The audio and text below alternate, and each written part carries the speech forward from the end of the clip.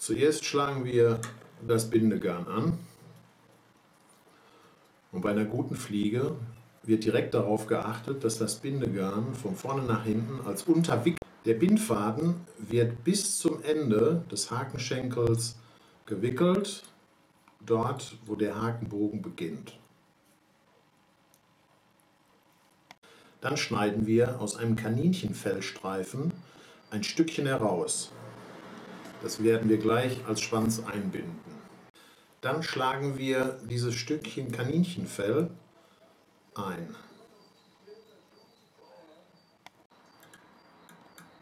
Was übersteht, wird abgeschnitten. Damit die Fliege später sinkt, wickeln wir jetzt einen Bleifaden hinzu.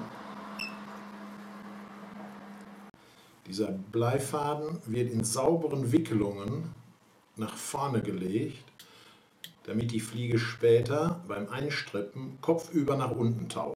Dann fixieren wir den Bleidraht, den Wickeldraht auf dem Hakenschenkel. Jetzt können wir das Dubbing-Material anschlagen und schön nach hinten einwickeln, weil die Wickelungen beginnen.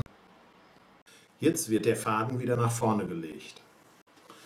Den Faden haben wir jetzt nach vorne gelegt und nun können wir mit den Wicklungen des Dubbing-Materials beginnen, sodass ein dann wird der Rest des Dubbing-Fadens angeschlagen, sodass sich da nichts mehr lösen kann. Und was übersteht, wird abgeschnitten. So, unser Schwänzchen ist fertig, auch der Körper ist eingebunden und fertig. Und man sollte darauf achten, dass der Körper schön wie ein Körper geformt zusammenläuft. Hinten und vorne ist er dünn, in der Mitte wird er etwas dicker. Jetzt entnehmen wir aus Reha ein Segment heraus.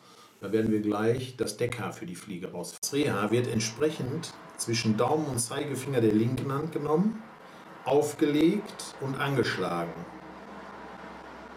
Dann mit dem Faden vernünftig fixieren. Das überschüssige Köpfchen wird abgeschnitten. Jetzt wird das Reha nach hinten auf den Körper gelegt und einige Windungen nach hinten gelegt, damit das Reha ordentlich fest ist. Wir entnehmen jetzt dem Skalp, das ist ein ganz normaler Hahnhechelskalp, der ist eingefärbt grünlich, entnehmen wir eine schöne schlanke Feder, breiten diese, schlagen sie an der Fliege an. Dann nehmen wir eine Hechelklemme und fixieren eine einzelne Feder in dieser Hechelklemme.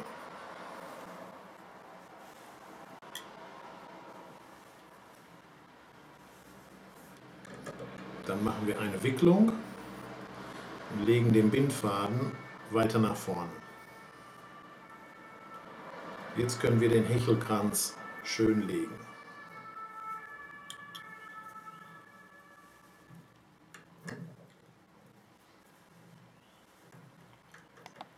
Wenn wir mit unseren Wicklungen vorne angekommen sind, fixieren wir das Ende mit dem Bindfaden und der Rest wird abgeschnitten.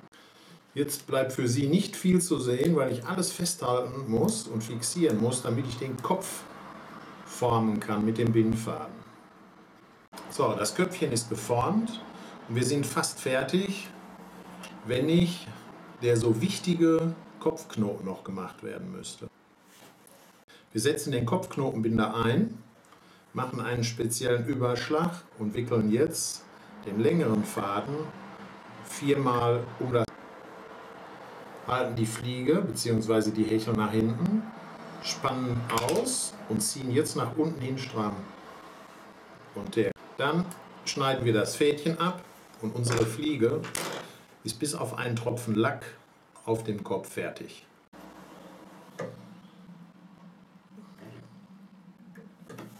So sieht sie also aus, unsere grüne Mamba, die Fliege mit Fanggarantie. Und da unser Zielfisch die Lachsforellen im Quellengrund sind, binde ich die grüne Mamba immer auf Hakengröße 6 und 8 und fische nicht unter einer 18er Vorfachspitze.